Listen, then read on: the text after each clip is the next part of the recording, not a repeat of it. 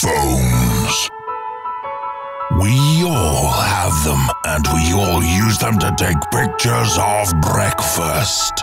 But now you can use it to play Who's Your Daddy? The biggest hit of December 2015 can now be enjoyed by people with phones. With downgraded graphics and worse controls, this is the third best way to experience the ultimate parenting simulator. Best of all, it's free to pay. So give us your money and play Who's Your Daddy on your phone today.